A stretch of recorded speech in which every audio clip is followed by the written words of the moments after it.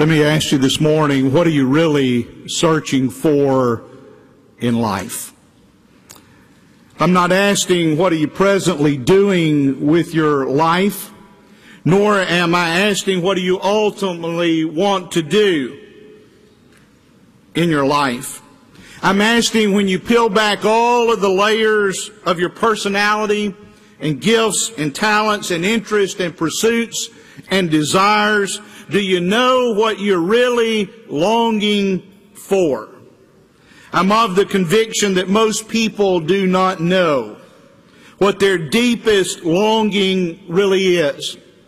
And therefore, like Henry David Thoreau once said, most men live lives of quiet desperation and they go to the grave with the song still in their hearts.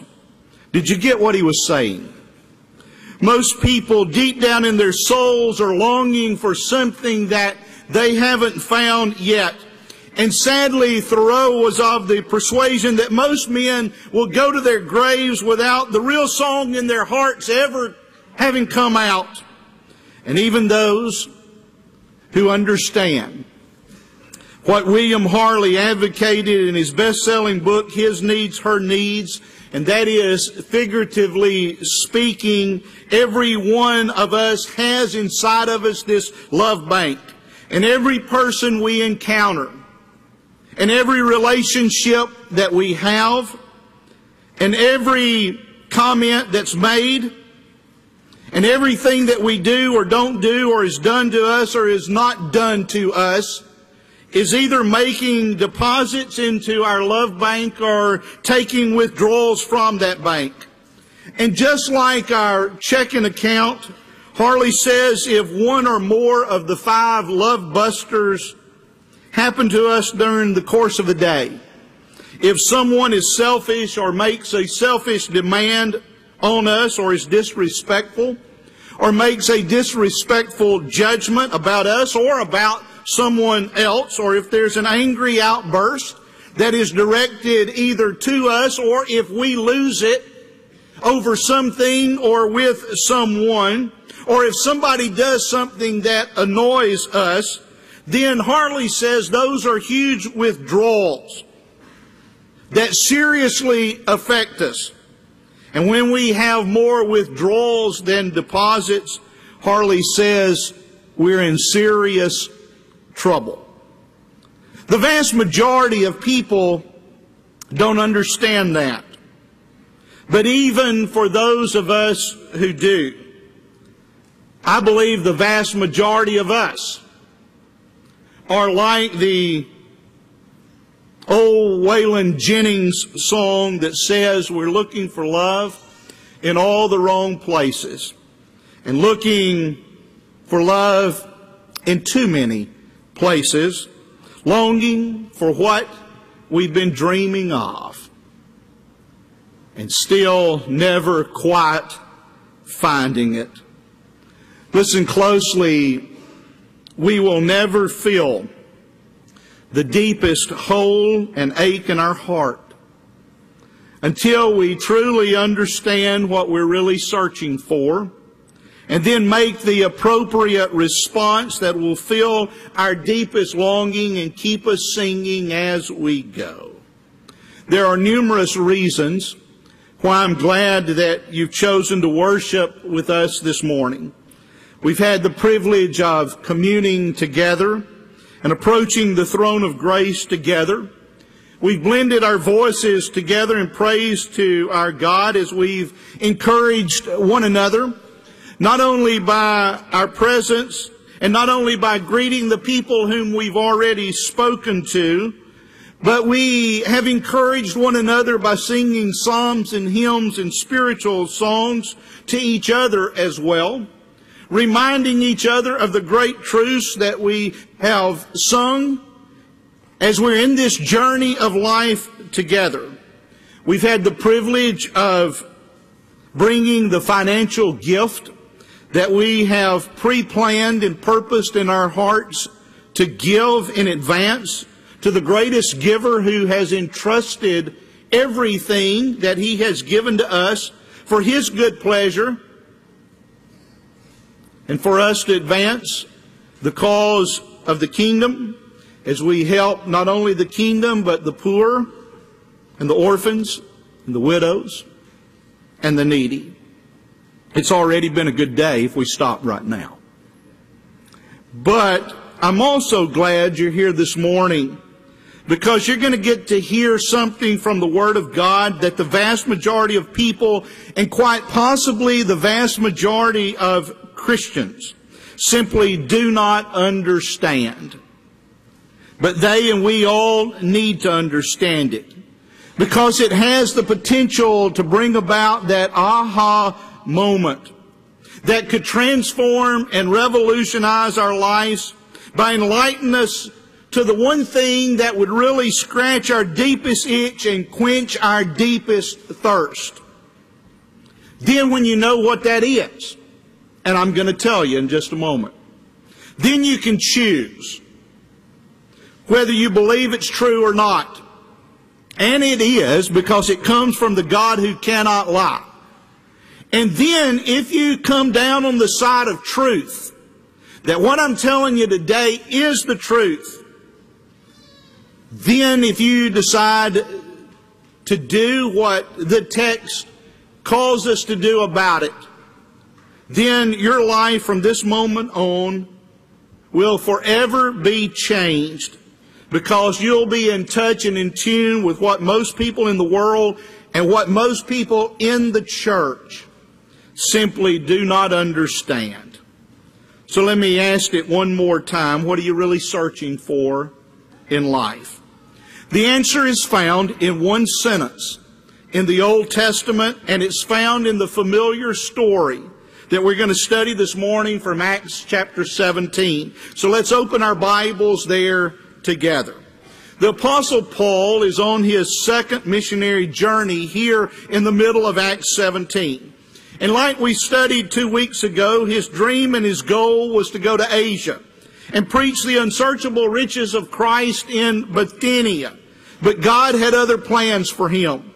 So the Holy Spirit prevented Paul from going to Bithynia, and Paul being open to the Spirit doesn't try to stubbornly plow through a door that God has closed, but instead, like every Christian should, Paul goes where the Spirit leads and where, and he goes through the doors that God opens for him.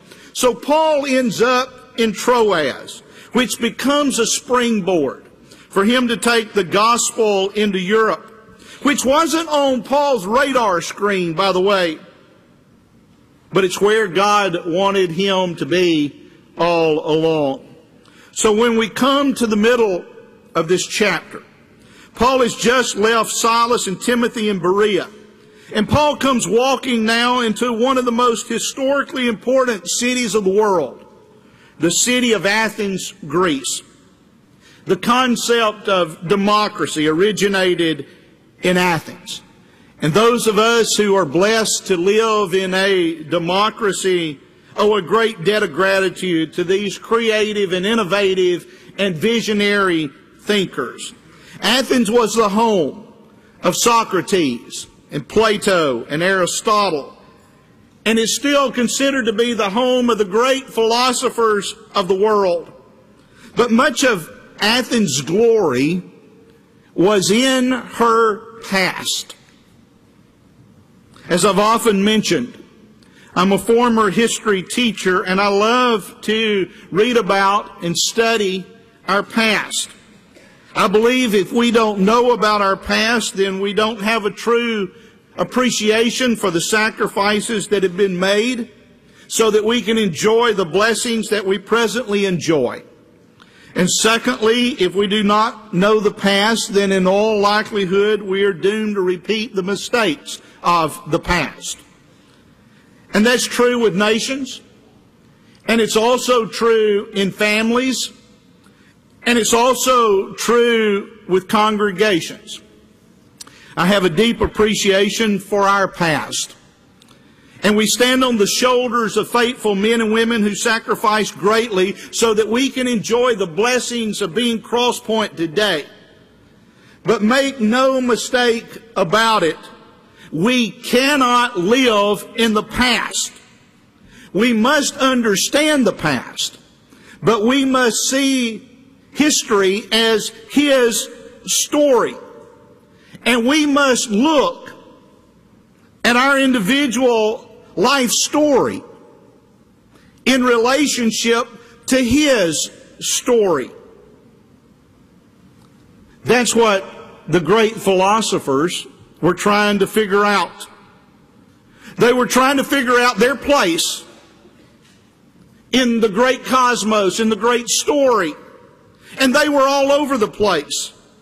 And each philosopher had a philosophy and a following. Athens was also home to one of the three greatest universities in the world, along with the one in Alexandria in Egypt and Tarsus in Cilicia. But here's the point.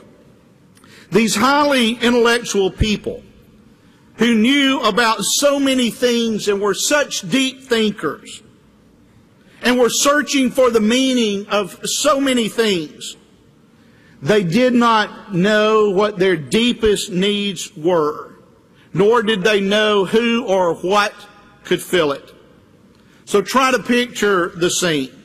After Paul says goodbye to the brethren who graciously brought him to the seaport town of Athens, which is about five miles from the heart of the city, Paul begins to walk into the city. One of the first sights he would have seen would have been the Acropolis, which simply means the high city. This area was the ancient citadel that was located high on a rocky hill overlooking the city. It was home to numerous buildings and temples and libraries.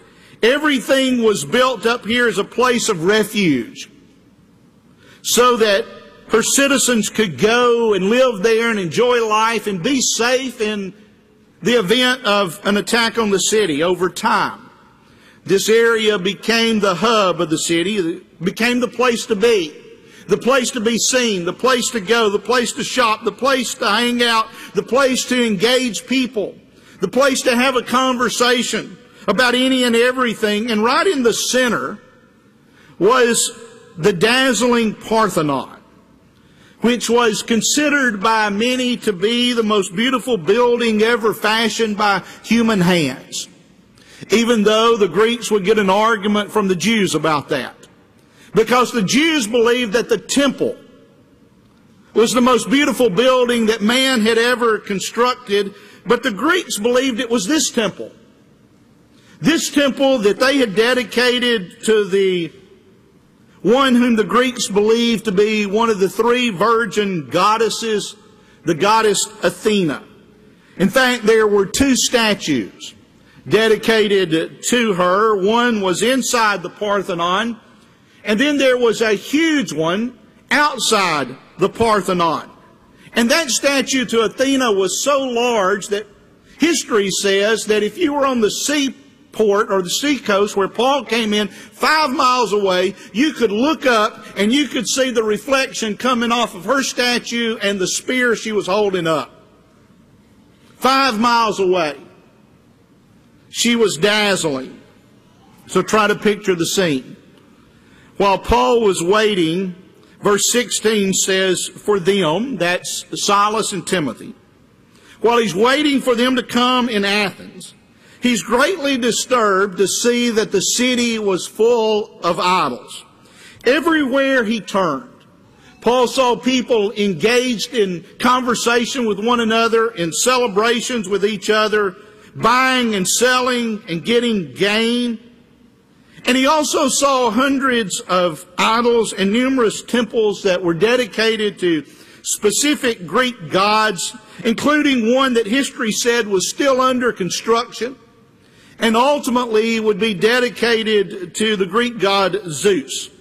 One historian said it was easier to find a god than a man in Athens, and that's a mouthful. Verse 23 tells us that Paul even passed an altar with this inscription to the unknown God. So instead of being awed by the city's beauty and bustle and grandeur and attractions, Paul's greatly disturbed, deep down in his spirit, because Paul looks at everything through the eyes and the lens of God.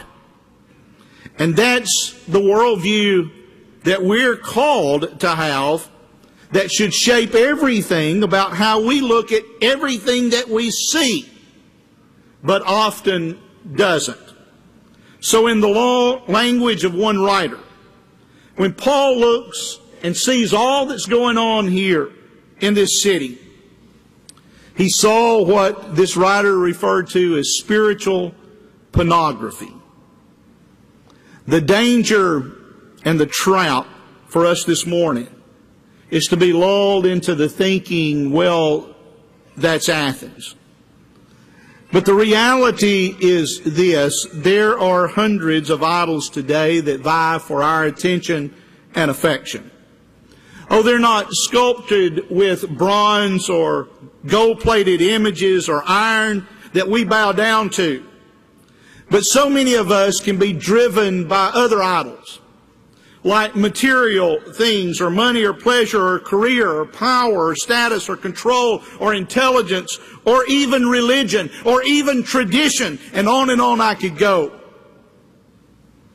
So when Paul sees all of this, his spirit is greatly disturbed.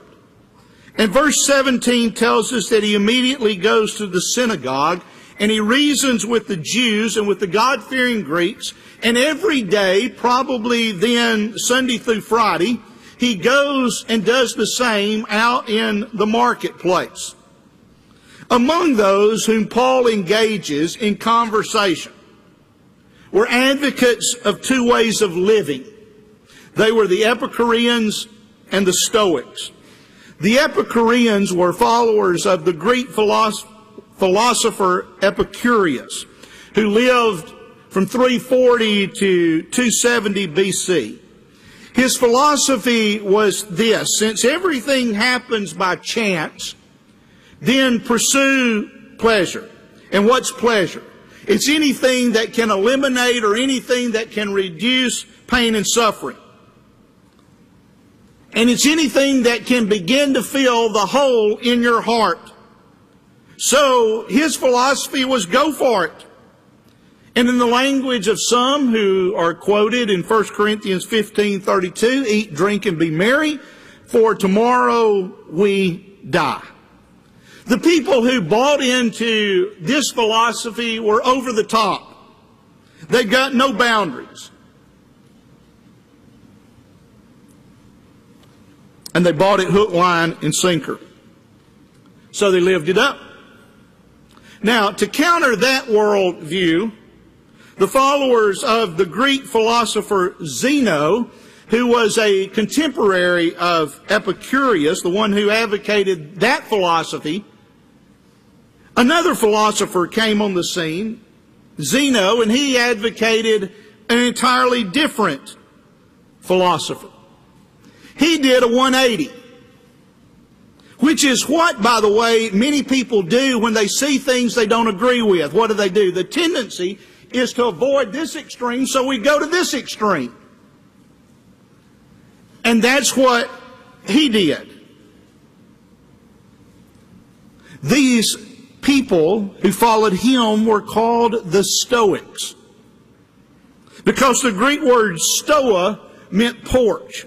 And the philosopher Zeno would sit out in these open air but covered porches along these temples, and a crowd would gather, and he would advocate his philosophy of life, his worldview, that he believed everybody should follow. He believed that the gods were impersonal forces that had already determined your fate and your destiny. So you just need to accept your fate and be indifferent about what's going to happen because what's going to happen is going to happen. Que sera, sera. Whatever will be, will be. And so, since it's going to happen and you've got no control about anything, then you need to be indifferent about everything because it's just going to happen anyway. And not only be indifferent, but you might as well be serious about life and serious about denying your flesh and your desires. So these Stoics walked around with hangdog faces. They were unemotional, and people would look at them and they'd see how serious they are, and they would go, Oh my, look at that man. Look at that lady. Man, she's serious about life, and guess what happened to their head? It got big and swelled with pride. Can you see the two extremes? Sadly, both exalt man and neither exalt God. So after reasoning with people who had bought into this philosophy day after day after day, the followers, the people who are listening to Paul, are not getting what he's advocating, which is what? According to verse 18, Paul is advocating following the resurrected Jesus. That's the key, he says, to real living. Paul's teaching that there's a much better way to live and approach life, and that's to follow Jesus and live for Jesus and love like Jesus loved and love what he loved and understand and then experience the power of the resurrection. So the followers of those two philosophies take Paul to a meeting of the Areopagus which is the compound Greek word that comes from the Roman god Mars and the Greek god for war, and it translates into hill. So literally it meant a little mountain or little hill, so they called this place Mars Hill.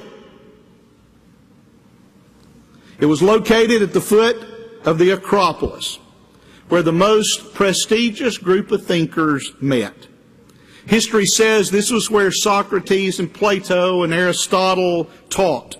This was where Socrates was tried and then convicted for being what they called back then a perverter of religion. Paul is taken then to this court of group of high thinkers and he's asked to speak to all of these intelligent people. Would you listen to what he said to them? The God who made the world and everything in it is the Lord of heaven and earth. He does not live in temples built by hands. And he's not served by human hands as if he needed anything. Because he himself gives all men life and breath and everything else. From one man he made every nation of men that they would inhabit the whole earth. And he determined the time set for them and the exact places where they should live. God did this so that men would seek him and perhaps reach out for him and find him, though he's not far from each one of us. For in him we live and move and have our very being. As some of your poets have said, we are his offspring. Therefore, since we're God's offspring, we should not think that the divine being is like gold or silver or stone an image man made by man's design and skill. In the past, God overlooked such ignorance, but now commands all men everywhere to repent. For he set a day when he will judge the world with justice by the man he has appointed. And he's given proof of all of this to all men by raising him from the dead. That, my brothers and sisters, is spot on. Paul says to them, I know that you are religious. But listen closely, there is a big difference between being religious and being at the heart of God. Paul says, I want to tell you about God. I want to tell you about the creative God who created all things. And whether you realize it or admit it or not, He's the Lord of heaven, Lord of earth, and He doesn't need anything. But He made and created and gave life to every one of us from one man. He made every nation, and His original intent was for all of us to live together in peace and harmony and unity and join Him in what He's doing to restore things on this fallen earth like they are in heaven. And Paul says, intellectually, Paul says to these Epicureans, you're way off base. Because God never intended everything to revolve around you. And Paul then looks at the Stoics and he says, even though you don't see this, you're missing it too. God's working here. He's always been at work. In fact, He's the one who determined when and where we're all born. He's always been at work. And not only is He working this world, but He's at work in your life. And I'll add, as Mordecai old said, who knows but what you've come to the kingdom for such a time as this. So here's our lesson this morning. Most people do not understand the one thing that every single person in this world and every single person who's ever been created is really seeking. Are you ready? Here it is. According to Ecclesiastes 3 and verse 11, God has put eternity in our hearts. So deep within the depth of every heart and soul is this desire to seek and find God and to know Him and experience what it's like to not only be in His presence, like Moses sought and experienced once on the mountain, but to take this eternal and spiritual longing that the God of this universe put in our hearts and to just open our hearts up to Him to see what He'll do to fill that longing that most people are looking to fill in all the wrong places. And in the words of one of our newer songs, that's what makes my heart want to sing. Make sure you understand this. Everything else is secondary and will never truly satisfy. And yet, the vast majority of people in the world, the vast majority of Christians, are longing to fill that hole in our hearts with something else. So some look and turn to drugs to fill it. Some look and turn to another person, thinking that that person will fill my deepest longing. And others turn to pursuing money. And others turn to religion, thinking that that'll satisfy. And on and on I could go. But none of it lasts, nor does it fill our deepest longing. Because our deepest need was put there from God and it's for Him. Verse 28 says, you can underline it in your Bible, in Him we live and move and have our very being. And people have been trying to figure that out ever since the fall back in Genesis chapter 3. Since we're all fallen people and sinful people and fellow strugglers who are bruised and broken by the fall, God provided the difference maker. And the difference maker is Jesus. And most people just do not understand that either.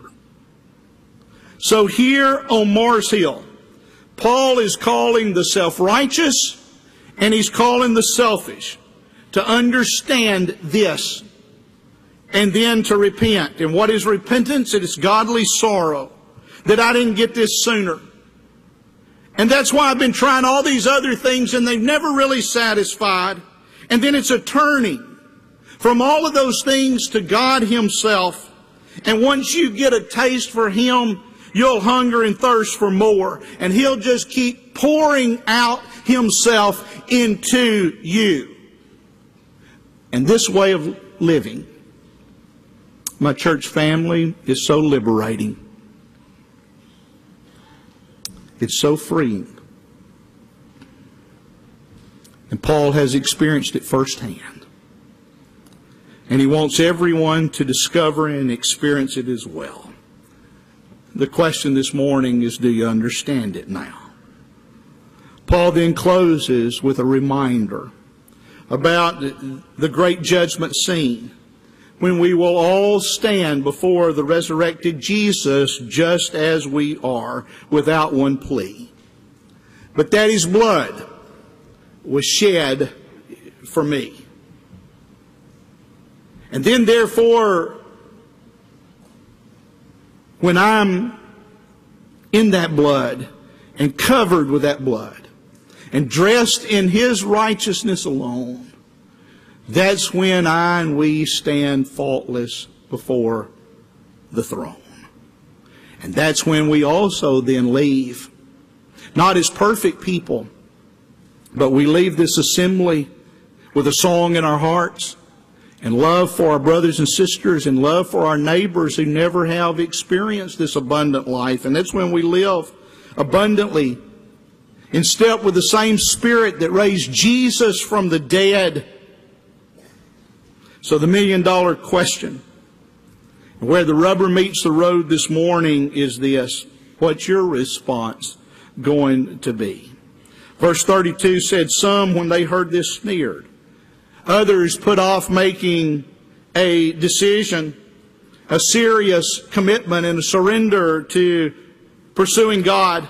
But a few, a few believed, became followers of Jesus, became brothers and sisters with Paul. They'll walk hand in hand with God, and they'll let Him fill their every longing. And He'll keep them singing as they go. It all can come when you open yourself up to that truth that your greatest longing is what God alone can pour into you and offer. And so if you, like these few, now understand it and need to come just as you are, then we encourage you to do that as together we stand and sing.